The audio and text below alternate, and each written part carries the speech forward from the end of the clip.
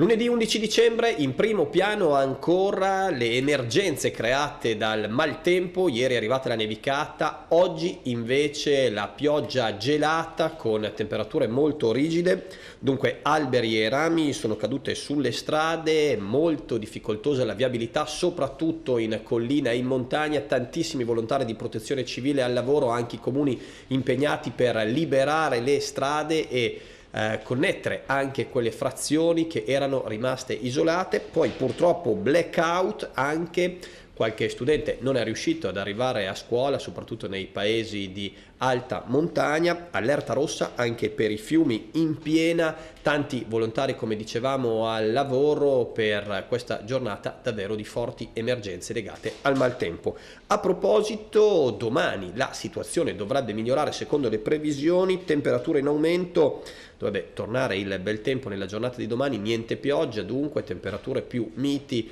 eh, probabilmente cesseranno anche le emergenze, anche se i danni e i problemi dovranno essere verificati nei prossimi giorni. Andiamo avanti parlando dell'oncologia di Piacenza, una vera e propria eccellenza che si è guadagnata un articolo sul prestigioso inserto Salute del Sole 24 ore, premiata in qualche modo per la ricerca e anche per il modo di lavorare all'interno del reparto dell'oncologia piacentina. A proposito di eccellenze della nostra città, i colori della carità, si chiama così la mostra su San Vincenzo De Paoli che inaugurerà il collegio Alberoni sabato prossimo, la prima assoluta in Italia. Chiudiamo con lo sport, alle 20.20 torna come ogni lunedì zona calcio, alle 20.45 ma il tempo permettendo invece il Piacenza Calcio riceverà al Garilli il Siena per il posticipo del campionato di Serie C. Tutto questo e molto altro sul nostro sito liberta.it nel TGL delle 19.30.